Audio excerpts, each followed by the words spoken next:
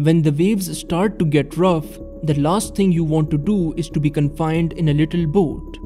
In the Atlantic Ocean, storms frequently cause the sinking of small ships. In the open ocean, wave heights typically range from a few feet to around 30 feet. However, under extreme weather conditions, waves can reach exceptional heights. In order to cross the Atlantic Ocean, it is essential to have a boat that is optimal for ocean crossing in terms of size.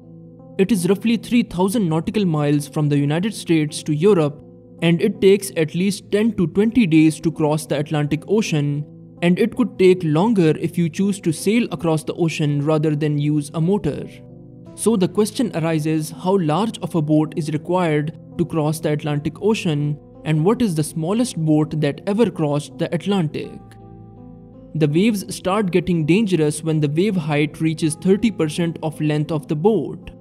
The wave also has to be a breaking wave. Unless the wave is breaking, the boat should ride up and over the wave regardless of the wave height. The boat also has to be broadside or oblique to the wave. The more a boat moves from being perpendicular to a wave, the greater the chance of a knockdown.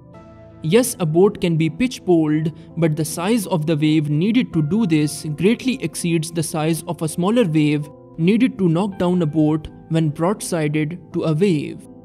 It is generally accepted that if you want to cross the Atlantic Ocean, you will need a boat at least 30 feet long, regardless of whether you plan to sail or motor. For both protection and convenience, the ideal length of a boat is 40 feet. If the boat is any smaller than 30 feet, there is a significant possibility of sinking during a storm. 90% of the boats crossing the ocean are bigger than 36 feet, with most of them measuring around 44 feet. When motoring across the Atlantic, it is necessary to allocate a sizable portion of the total storage space for fuel storage. This indicates that a larger motorboat will be required than a sailboat to complete the same journey. In 1902, the first motorboat crossed the Atlantic Ocean and spent 37 days to travel from New York to England. The boat was 37 feet long and was loaded to the gills with 700 gallons of kerosene to fuel the motor. However, there are numerous examples of extremely small boats crossing the Atlantic Ocean. At a length of just 5 feet and 4 inches, the smallest sailboat named Father's Day crossed the Atlantic Ocean in 1993 after spending 105 days in the ocean. Although it is feasible to sail across the Atlantic Ocean in a much smaller vessel, but it is extremely dangerous.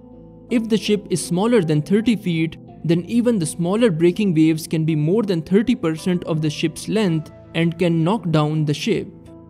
While we are talking about smaller vulnerable ships, the big ships in the oceans are also not completely safe. Severe weather has sunk more than 200 supertankers and container ships exceeding 200 meters in length during the last two decades. Rogue waves are believed to be the major cause in many such cases. When swells traveling across the ocean pass through one another, then the occasional constructive interference will produce waves that are exceptionally large, even when all of the surrounding waves are of normal height. These random large waves are called rogue waves.